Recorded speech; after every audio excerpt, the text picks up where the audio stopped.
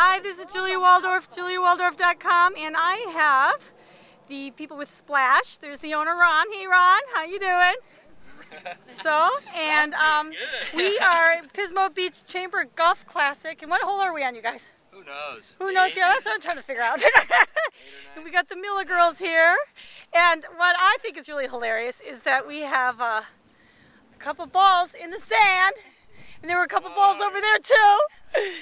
So how's your golf going? Are you guys going to win this or what? Oh yeah, oh, yeah. We're, Are taking, you? we're taking it. Are you going to take 10 it? or 12 under right now. Yeah, we oh, cheat. cool. Oh, you don't. Well, you're he not supposed to say that on video.